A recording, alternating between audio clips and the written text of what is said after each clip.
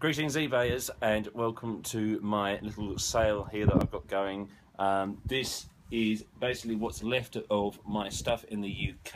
I have moved to the Canary Islands and sold this house to my stepsister who has very kindly agreed to finish selling all my equipment for me. There's a few bits and pieces here. Um, there's PA equipment, there's some studio gear, hi-fi gear, lighting equipment. There's my first windsurfing board.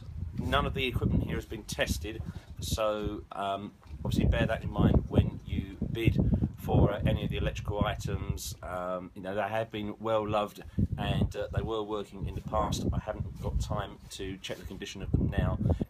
You'll be dealing with my stepsister um, for the sale if you uh, speak to her on the phone, but you can obviously ask me questions as well through eBay and I'll do my best to help. Everything here is pick up only um, because obviously I, I, can't really give uh, my poor stepsister the job of posting lots of stuff off, so um, it's all pick up only, no um, early ending of auctions. The reason I'm selling this is because I'm a professional musician and I've moved out to the Canary Islands. This is the last of my bits and pieces. Um, so all this stuff has been used by me at some point. Um, so um, been, it's been well loved by a musician.